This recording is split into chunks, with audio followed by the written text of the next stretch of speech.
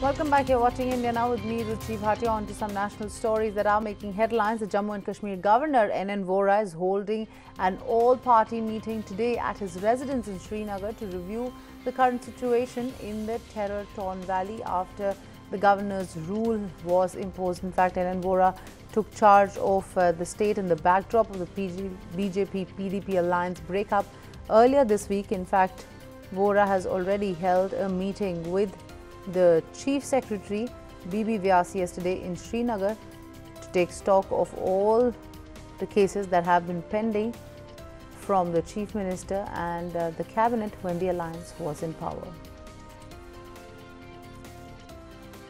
The all-party meeting will be held at Raj Bhavan with the governor and Vohra. NN Vohra is invited, in fact, the heads of all the nine parties today so that they can have a meeting in this regard. They're basically looking for a way forward uh, to deal with the situation in Kashmir Valley. They will be also discussing about various measures that can be taken so that the atmosphere can be made conducive not only for the conduct of Amarnath Yatra but afterwards also because the first priority will be to ensure that there should be incident-free Amarnath pilgrimage and that will be the priority of the governor as well as the all-party meet will be discussing about all these things. Besides this, they will also be discussing about what measures can be taken not at the administrative level, governance level and besides this at the security level so that the situation can improve in Kashmir Valley. So governor is basically trying to involve each and every person though that at the end of the day decision will be taken by the governor because he has already made up its mind that the security forces will be given free hand to deal with the situation.